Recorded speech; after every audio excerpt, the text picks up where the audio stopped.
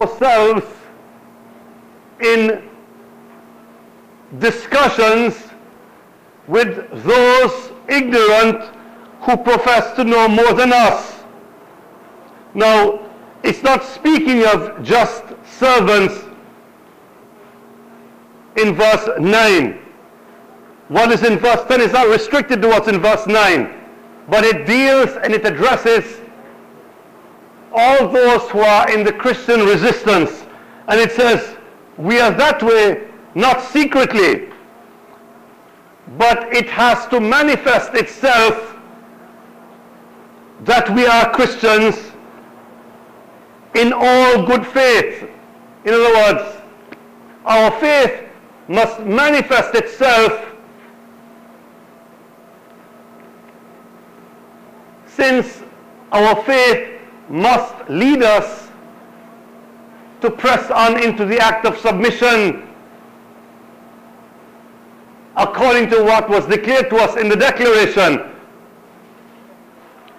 So if we are to perform the works that we are called to by Christ and God, then there must be works manifested if we say that we are Christians. And that is why the verse starts, not secretly. That we may put in proper order the doctrine of God our Savior in all things. And you need to focus your attention on the phrase that you may put in proper order the doctrine of God our Savior. Underline for me please the phrase the doctrine of God our Savior. It is in fact what I'm speaking of this morning to indicate to you that God Himself became our Savior and our deliverer. But remember, if we are to interact with God, God had to exist first in a state that was short of His own glory because we cannot see God and live. We cannot be exposed to the full glory of God and live. The glory of God would consume us. And that is the reason why God had to shed his glory so that we could approach him. Now, I believe I'm speaking in plain English language. So there shouldn't be anything that you're not understanding at the present time. It says clearly the doctrine of God our Savior. And it does not restrict, it doesn't restrict it in any way to the physical Jesus. As a matter of fact, since we recognize that Jesus was a physical manifestation in the world of who God was, then we can, by no stretch of the imagination, equate Jesus with God. For if Jesus were in fact God in existence in his glory, he would have consumed his mother Mary, and if she had survived that experience, then God would have consumed the entire physical universe at his birth. Now, the essence of what is being communicated in verse 10 is underlined by what's at the beginning of verse 11.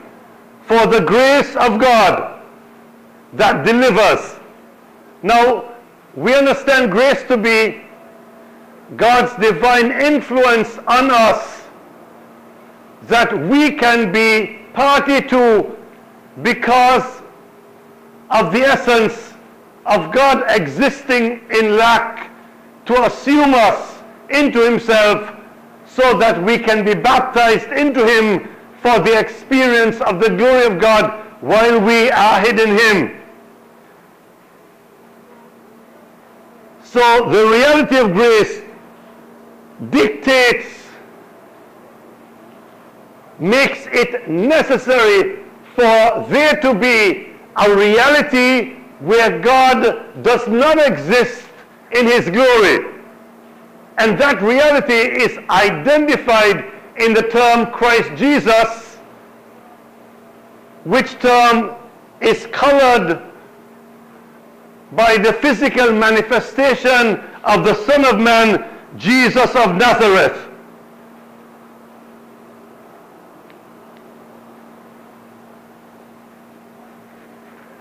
What gives depth to verse 10 when it speaks of the doctrine of God our Savior is what Paul uses at the beginning of verse 11 when he speaks of for the grace of God. Now the grace of God makes it necessary, dictates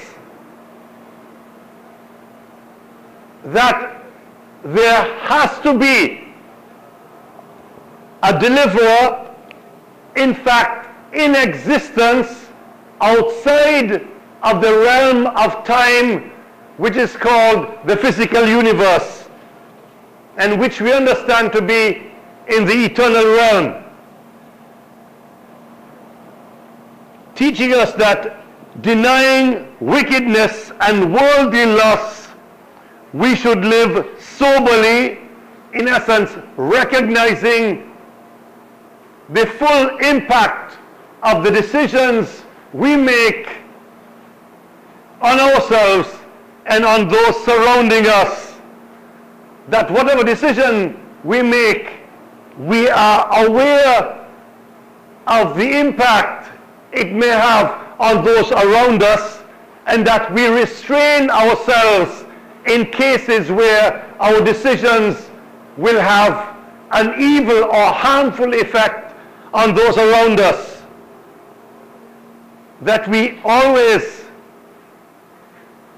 think in this way, righteously and godly in this present world, looking for what we hope to accomplish permanently, which is the glory of the appearing of the great God and our Savior, Jesus Christ, which brings to our understanding that Paul is hinting at the reality that Jesus and God and glory is one person, that there's no separation between these two. All of this exists in the backdrop of Titus 1.15 which says, Unto the healed all works are pure, but unto them that are defiled and untrustworthy is nothing pure. Remembering that our healing takes place in the eternal realm, and if we are spiritually connected or baptized into Christ Jesus, whatever physical work is being manifested in the world also spoken of in Titus 2.10 that if we are spiritually connected to Jesus Christ are baptized and therefore manifest a physical expression that that physical expression is pure and from God. On the other hand,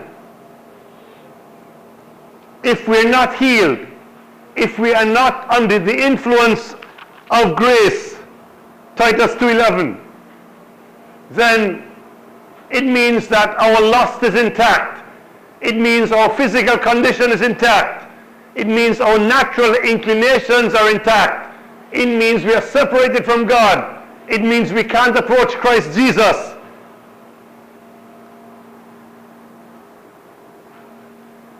If we are defiled, if we are not healed, if we are separated from the eternal realm and untrustworthy because Christ has declared to us but we have rejected him, then no matter what we do in this world, whether it be water baptism, whether it be memorizing the entire Bible, nothing is pure.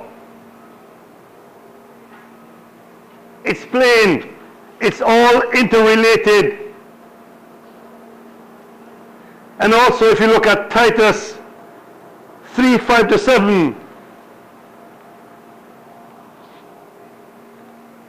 it brings more pressure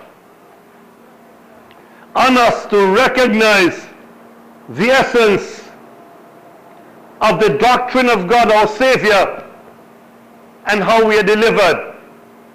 Because we can experience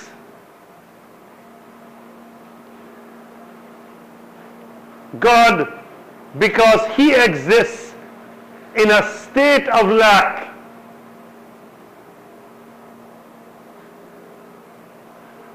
So that we can approach Him and not be destroyed by our approach to Him.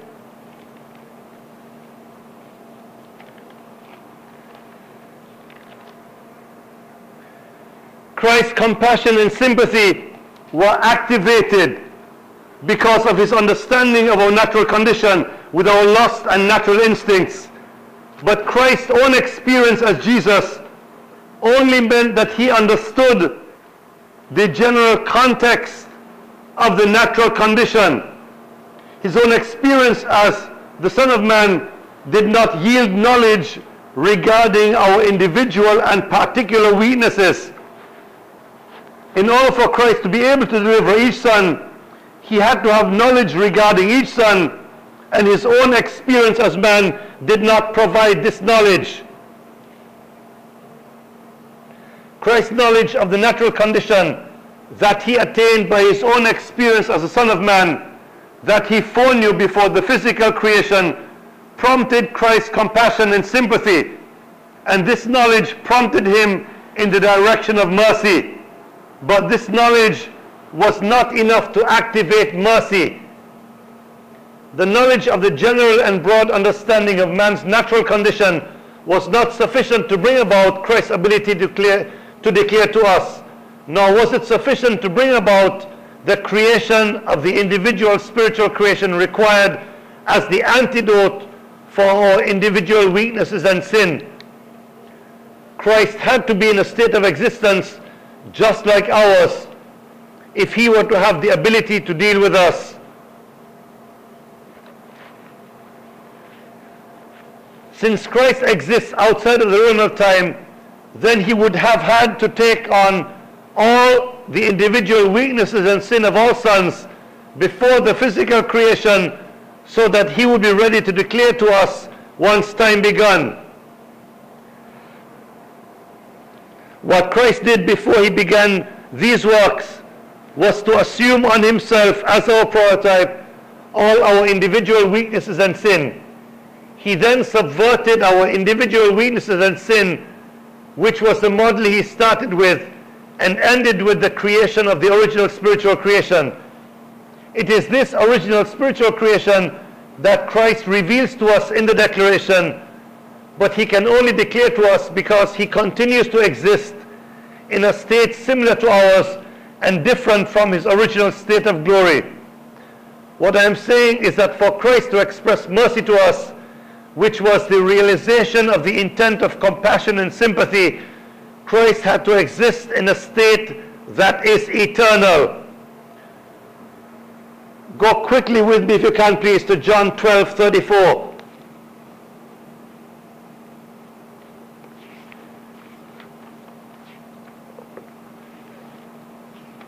Where it says,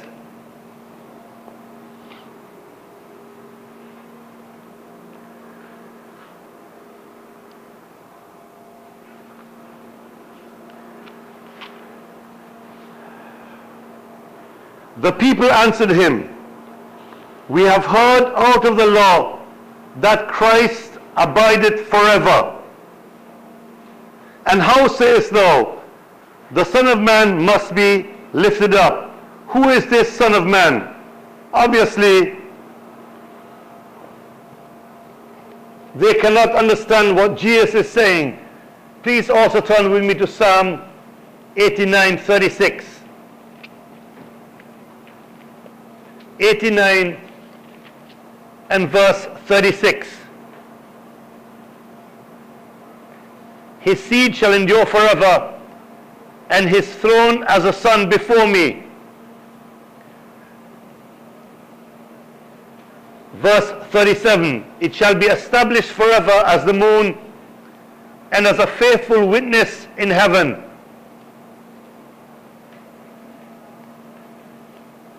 Psalm 110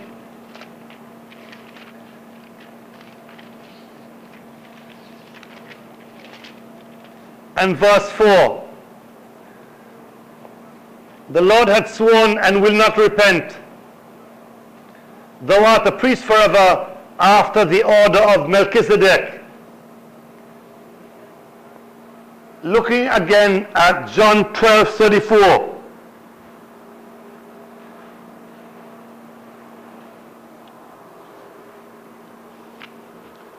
Jesus was speaking to the people, and it is billed as Christ's final discourse to the people. And the people answered him, We have heard out of the law that Christ abideth forever. Now, it seems plain, especially in Psalm 89, verse 36 and 37, that it is an indication of a king ruling forever. However, Psalm 89, 36 and 37 does not take into consideration the cost to God for being our deliverer forever. And this cost we must impute into John 12, 34 and also in Psalm 110.4. There is a cost to God. Scripture usually looks at Jesus reigning forever from the perspective of it being something positive. Whereas the point I am presently making to you is that there was a cost to God, and this cost is very plain in John 12 34, where we expect the entire world to understand. And Jesus asserted in himself that our deliverer lives forever outside of the realm of the physical world. Yet it is difficult for us to understand because we don't seem able to impute in our own minds this reality of God existing in lack. Please turn with me again to Hebrews 5.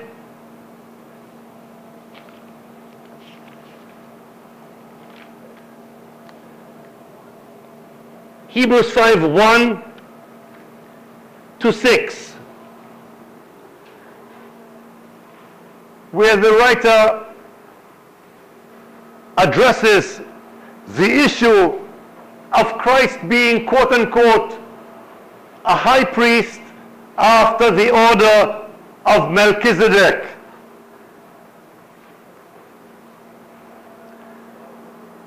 A reference that is also made in Psalm 110 and verse 4.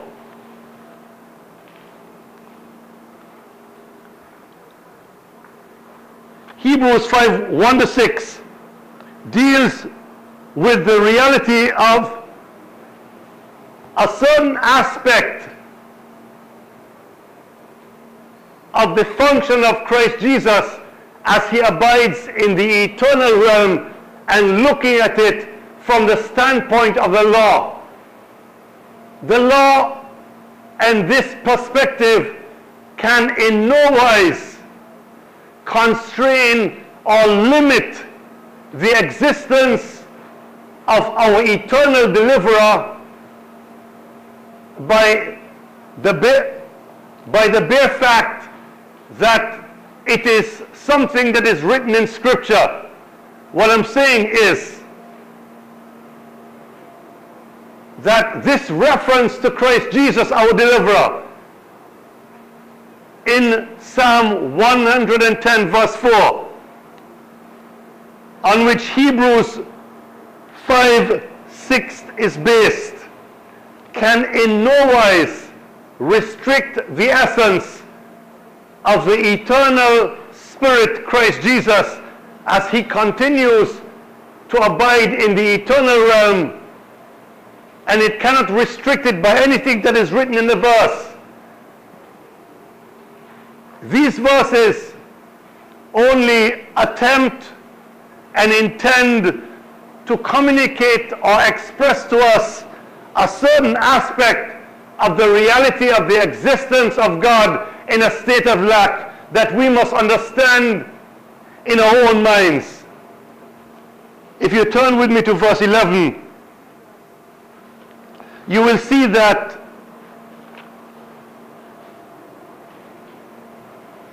the writer of Hebrews was also having some difficulty in getting through to those he had spoken to before. There was some difficulty in the audience of the letter of Hebrews in this same aspect that some of you are having difficulty with presently.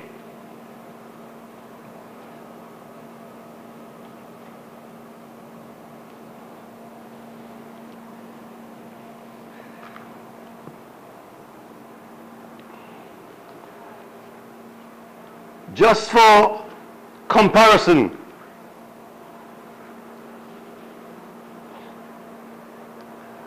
I would like to read to you as an exhibit or as an example of what the wider church teaches on Hebrews 5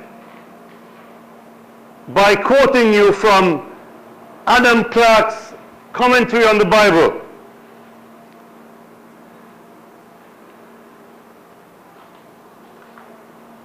On verse 5, it says,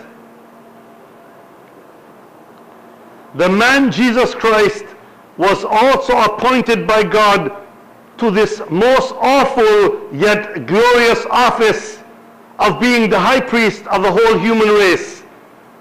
Thou art my son. The commentary in verse 6 says,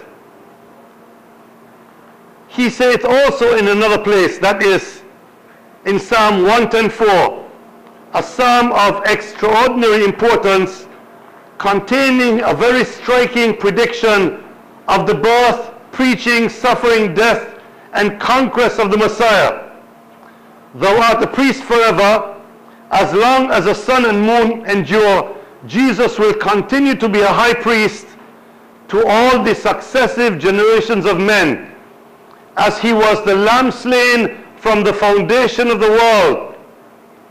Now, there appear to be many contradictions in this commentary. The first one is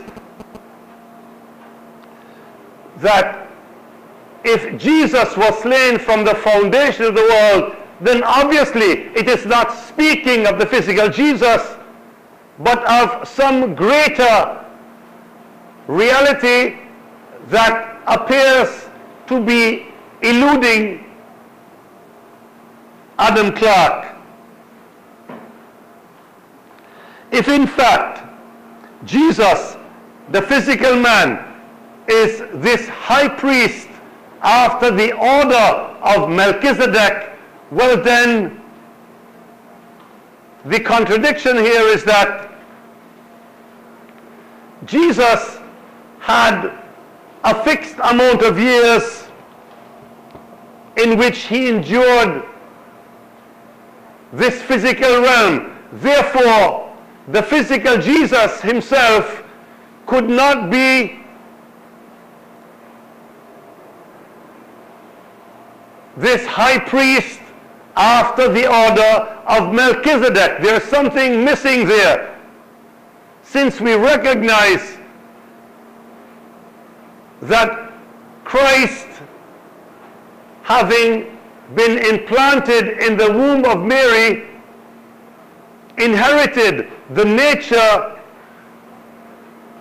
of man from Mary, and that he endured and suffered through this experience until his death on the cross.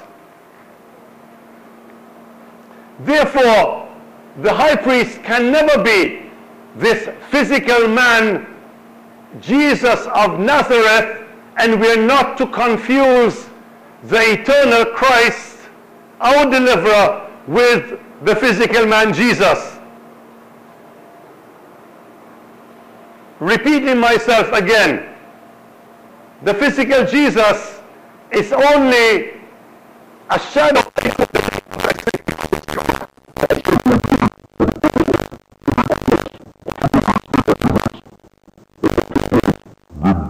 baptism of repetitive regeneration.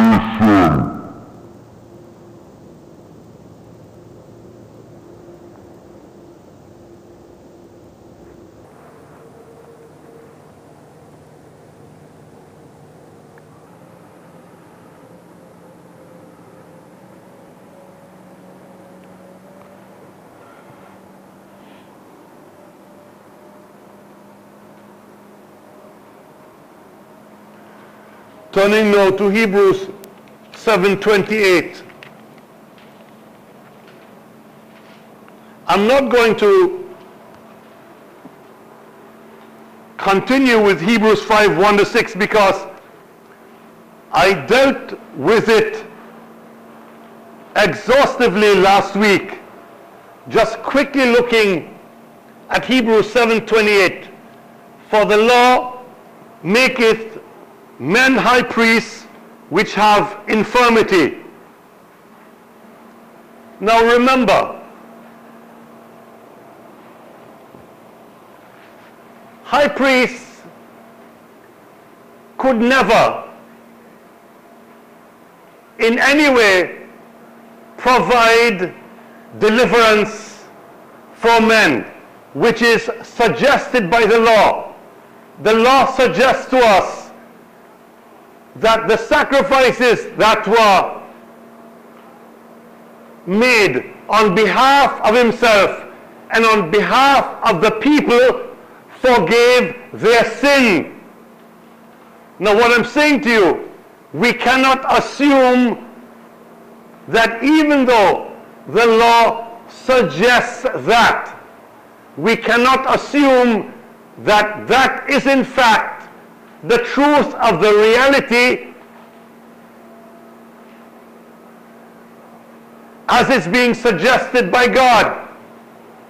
In fact, God's intention is for us to recognize that the eternal Spirit, Christ Jesus, is the one who is shadowed in the essence of the high priest, and it is not the high priest who forgives our sins or who gets forgiveness for our sins because of the sacrifices performed on our behalf, but rather that it is Christ Jesus who delivers us from our weaknesses and that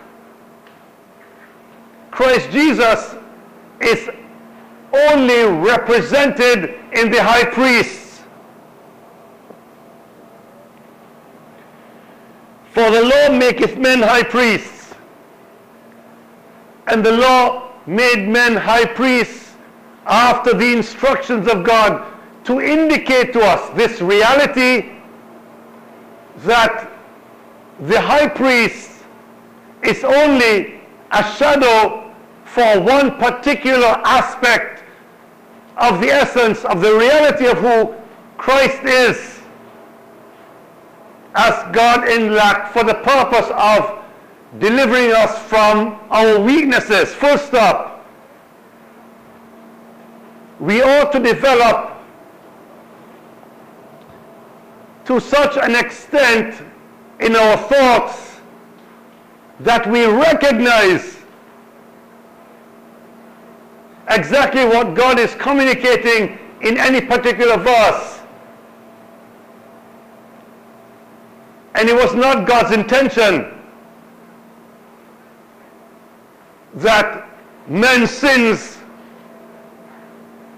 could be forgiven by the sacrifices that were offered up by high priests on our behalf. Because men cannot gain for other men the forgiveness of sins. It takes God Himself to forgive us our sins. And the only way that our sins or our weaknesses can be wiped away is because God exists in a state of lack to deal with us. Lepers approached Jesus as he walked on his way. And it was against the law for lepers to approach any man, much less Jesus, who was understood to be a priest or a teacher sent from God by the people of Israel. And this, this reality of lepers having approached Jesus simply represents to us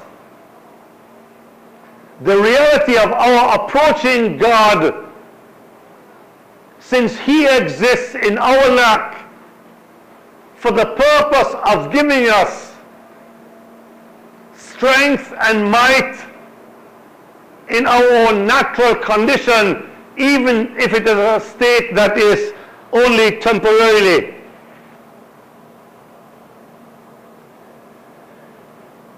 It says in Hebrews 7:28 in the second part, but the word of the oath which was in the law made the Son who is consecrated forevermore.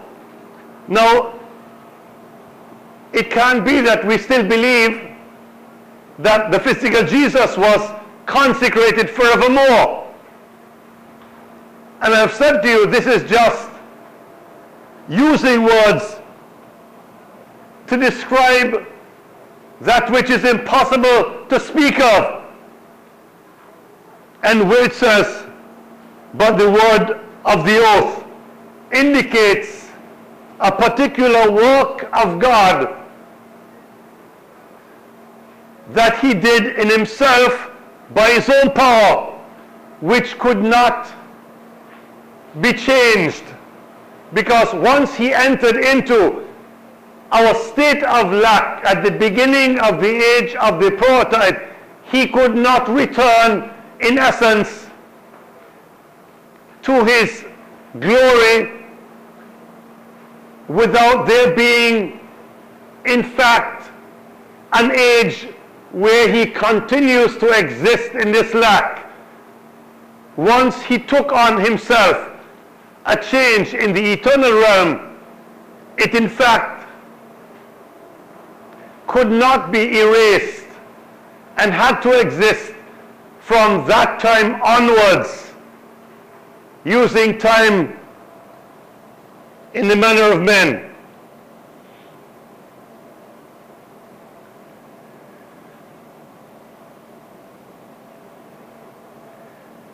This is the dedication of God.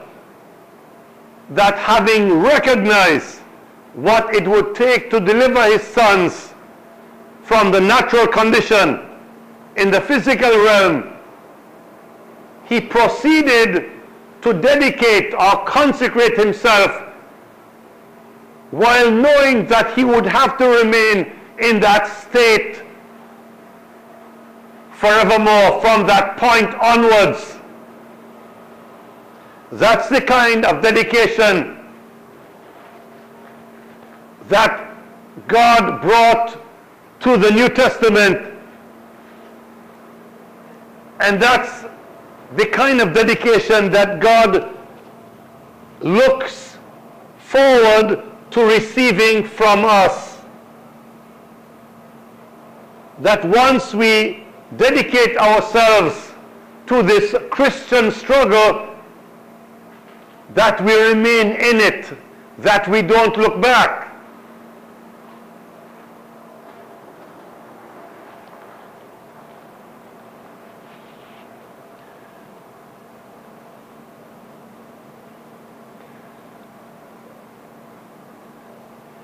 For Christ to express mercy to us, Christ had to exist in a state that is eternal.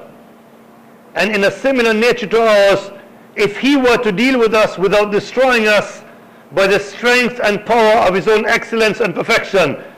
Therefore, this meant that God's foreknowledge of the experience of Jesus' earthly expedition in the condition of the natural man could not change Christ God to the extent that we needed him to be changed.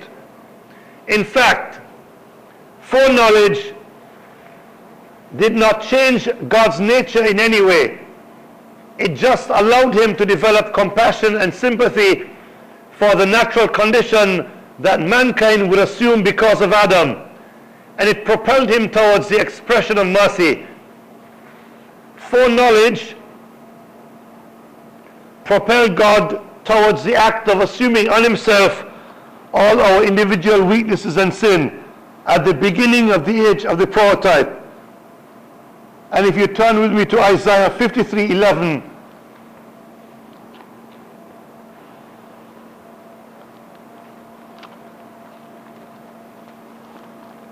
something we have studied at length. So this is not to go over it, but just to remind you of the correct translation.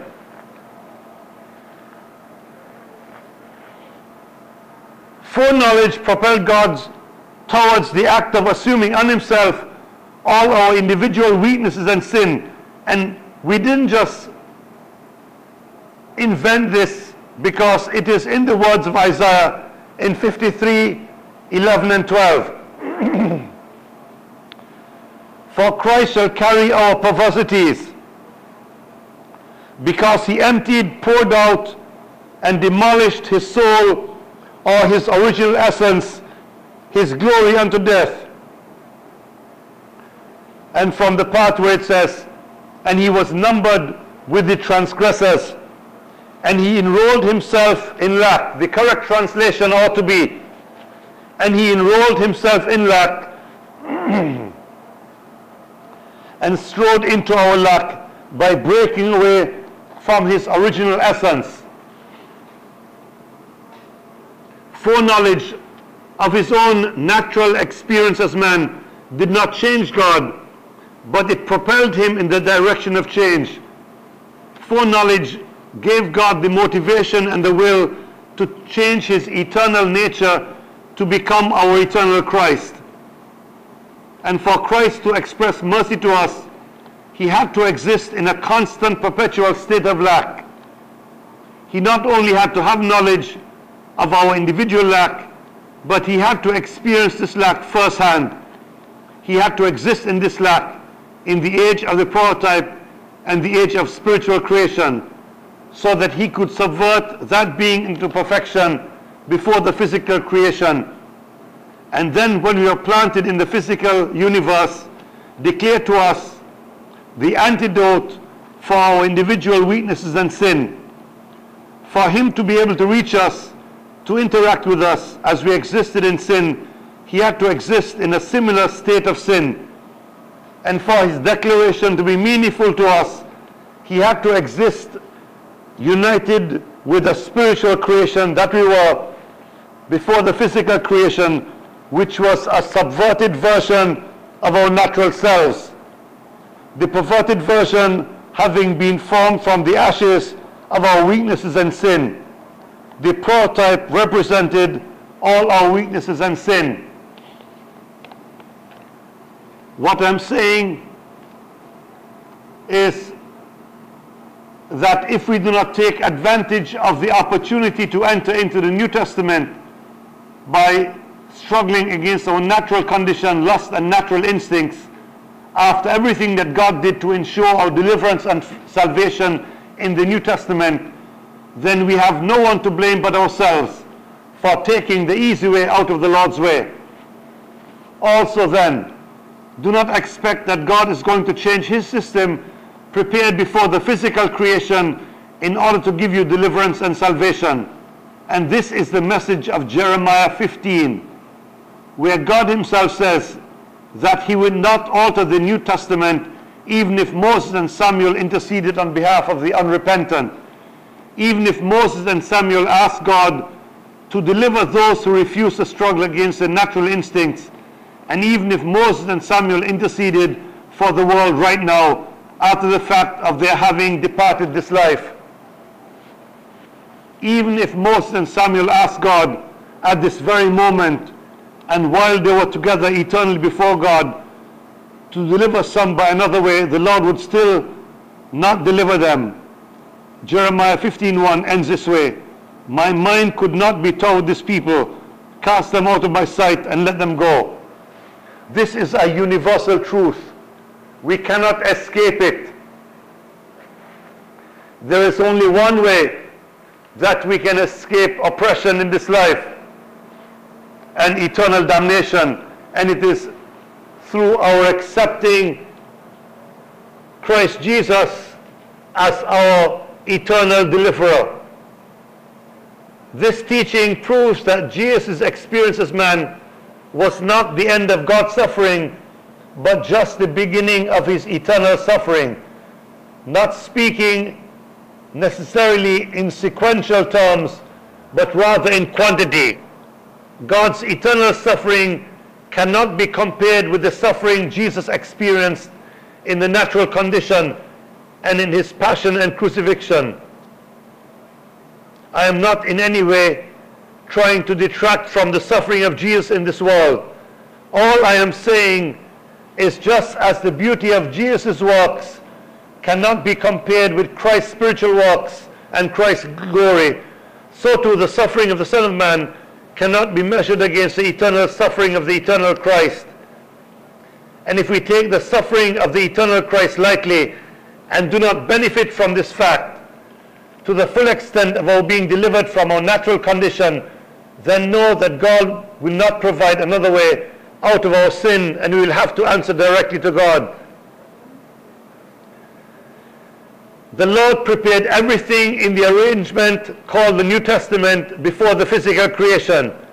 And all we need do is simply seek Christ sincerely, reach out to Christ effectively by struggling against all our natural inclinations and instincts so that we can gain entrance into the New Testament for grace, which Paul defines for us as the baptism of repetitive regeneration Titus 3.5 to 3.7.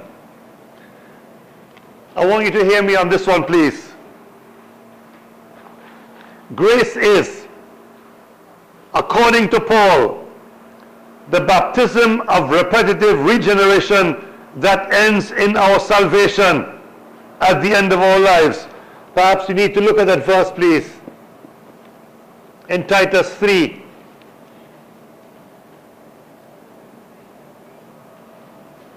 Notice the link between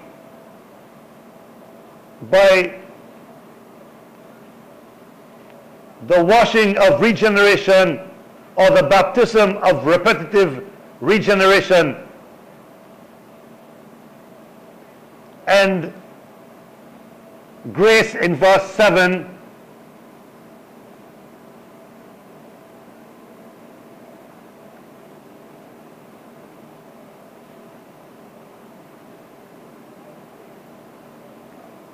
And notice the word saved in the middle of verse 5.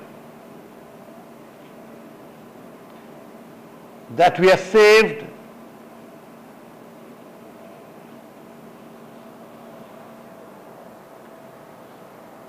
at the end of our lives because of the baptism of repetitive regeneration, which is in the King James by the washing of regeneration. And this is what defines grace. Verse 7. Paul says in Titus 3 7 that we are justified by grace, that we can know that we do not have to remain in the state of separation from God because we can be healed. And we can become aware of the fact that we're healed from a natural condition. Being healed and being unaware of this fact is not taught in Scripture. Paul, in linking salvation with grace and the baptism of repetitive regeneration, indicates quite clearly that grace must end in salvation through what he calls the baptism of repetitive regeneration. And baptism of repetitive regeneration is one inclusive block of repeated regenerations, making the whole of our salvation, which is one unit. That baptism of repetitive regeneration is one experience when looked at from the vantage point of eternity by the one saved.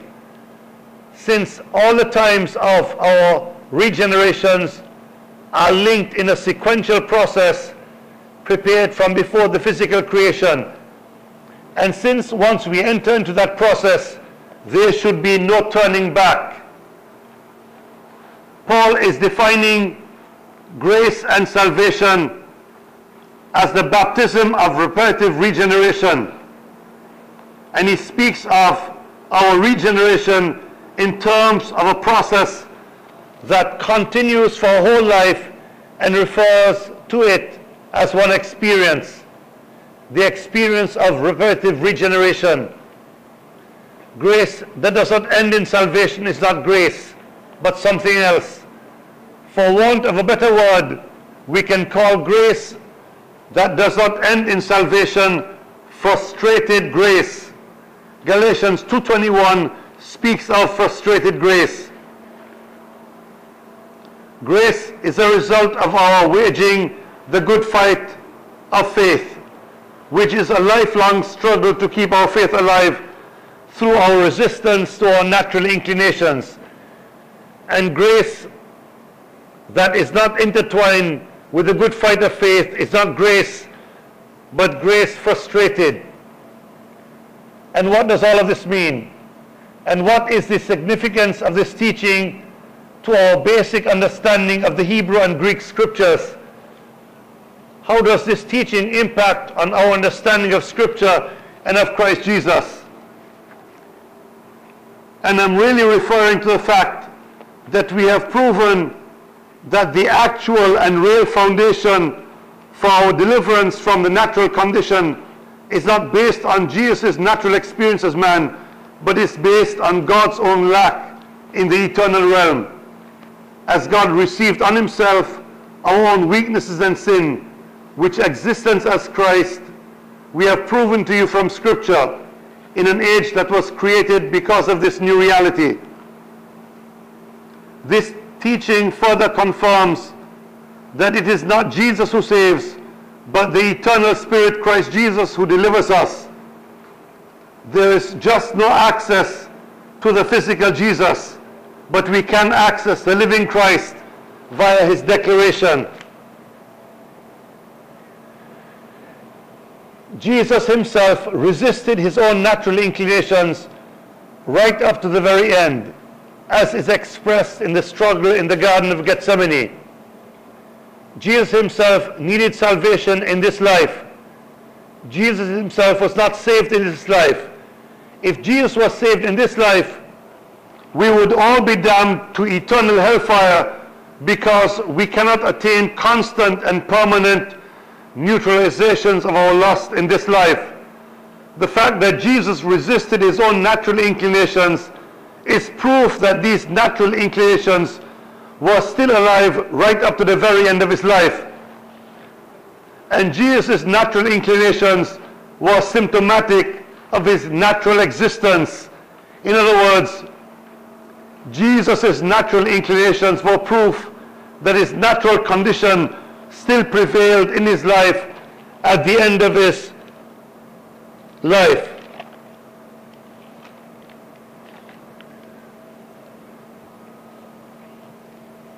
When we study scripture, we ought to be confident of understanding what Jesus intends to express and to communicate by the said scripture. We cannot rely on other men to give us an experience of healing. That experience can only come from Christ Jesus. And we can only access Christ Jesus if at least we are willing to surrender our lusts. If we decide in our own mind that we are in the business of preserving our own natural inclinations and lusts, then know that we do not stand a chance at receiving the type of life that Jesus intended for us to have after he foresaw the fall of Adam from grace.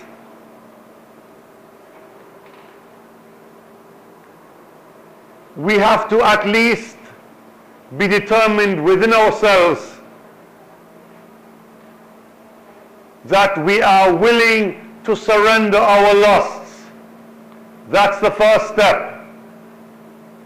If that is the case, then we must proceed in a practical way to restrain ourselves from our natural inclinations that are derailing us and keeping us separated from God. Of this by now we must be sure. What I have also said that I need to underline and underline very carefully is that we accept the fact or we accept the reality that Jesus in fact was fully man. If we accept that fact that Jesus, Son of Man, Jesus of Nazareth was fully man, then we have to recognize that he was in existence like any other man in a natural condition which is controlled by lusts, natural inclinations, and the reality that all of this entails. We can't escape this fact. If you prefer to hide from the essence of Jesus being fully man, then you can also say that while being fully man, he was at one and the same time fully God. Whereas what I'm saying to you is that Jesus, Son of Man, was fully man and he represented in a physical expression or a physical shadow everything that Christ, our eternal deliverer, remains to be on the other side. That there is a separation between Jesus, the physical man, and Jesus, Christ, being fully God. that we recognize that in this life, Jesus came into this world to point us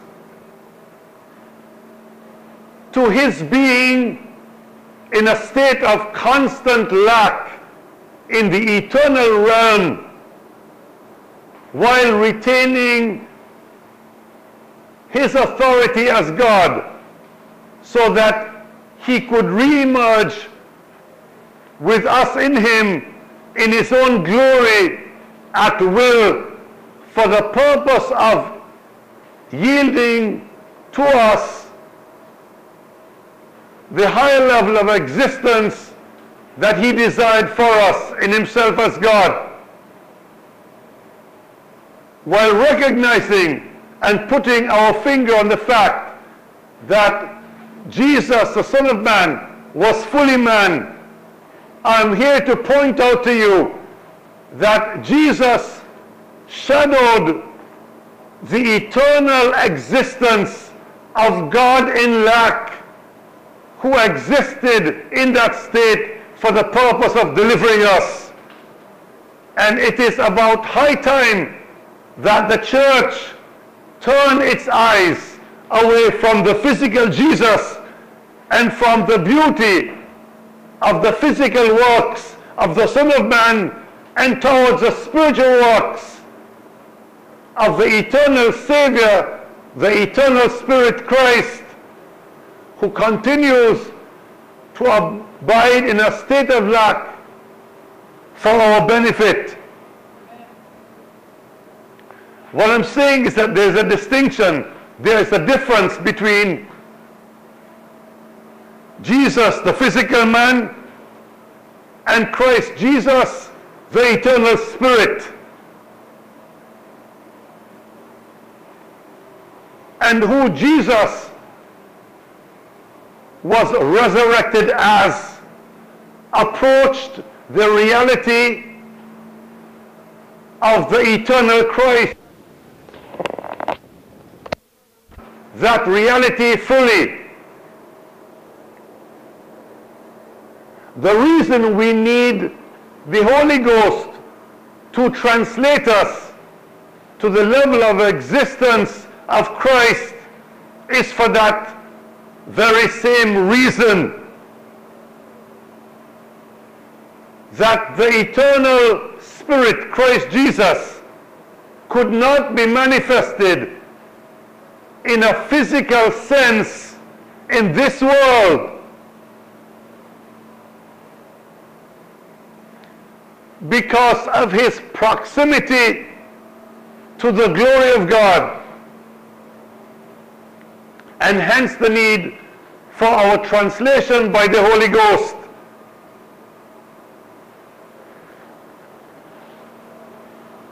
Let me say it for you in another way.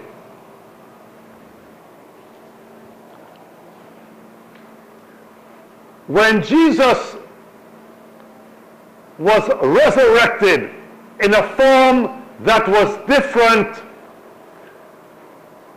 from his pre-cross existence.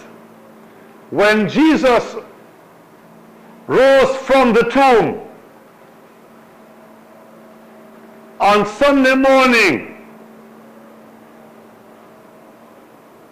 he rose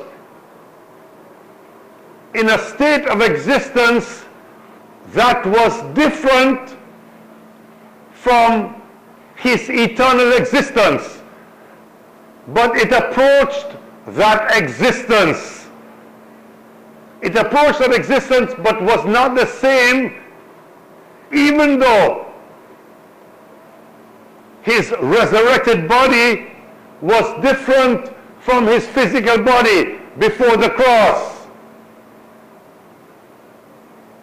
It's not confusing. What I'm saying is that Jesus was in the natural condition